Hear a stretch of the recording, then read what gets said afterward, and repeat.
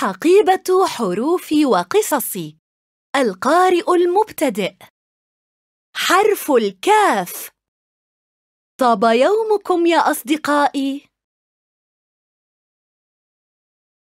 قبل أن نبدأ درس اليوم سنلعب لعبة تساعدنا في الانتباه وتقوية الذهن والتركيز.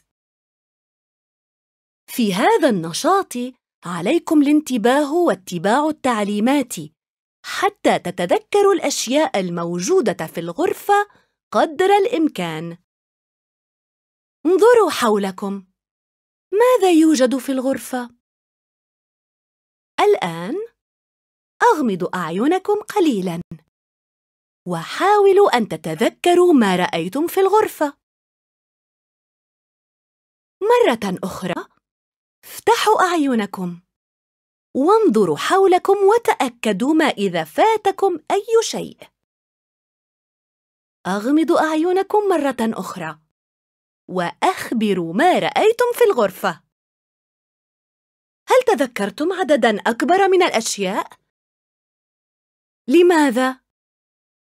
لقد استعنتم بقوة الانتباه هذه القوة تساعدكم على التركيز لحفظ الأشياء في ذاكرتكم كما تساعدكم على التعلم.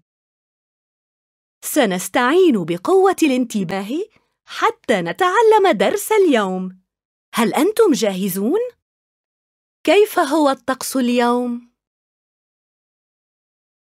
مشمس. بارد. حار. دافئ قليل الغيوم غائم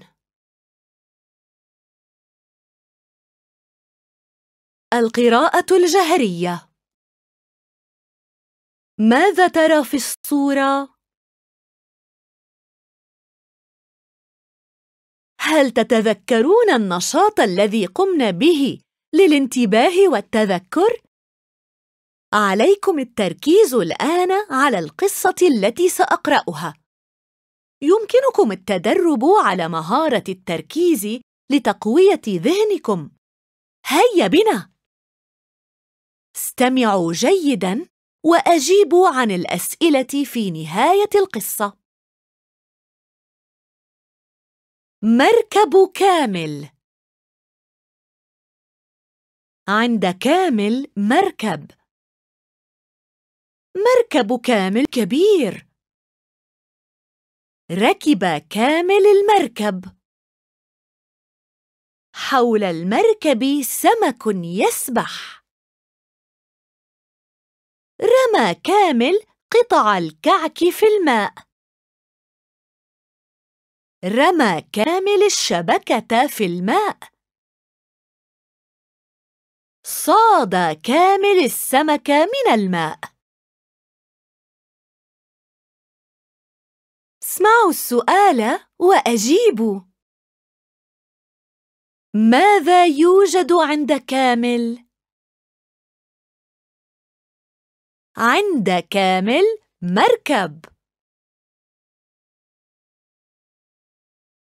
أين يسبح السمك؟ يسبح السمك حول المركب كيف صاد كامل السمك؟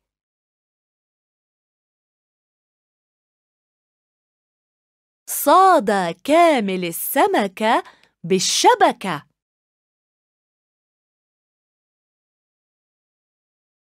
ما هو الحرف الأكثر تكراراً في القصة؟ حرف الكاف صرت أعرف كيف أقرأ كلمات فيها حرف ك. كعك سمك مركب. سأقول كلمات.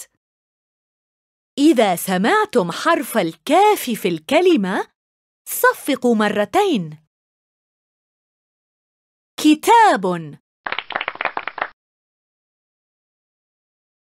بحر. مركب. سمك. علبة. كعك. أحسنتم. مشروع الصغير. حضروا بطاقة حرف ك.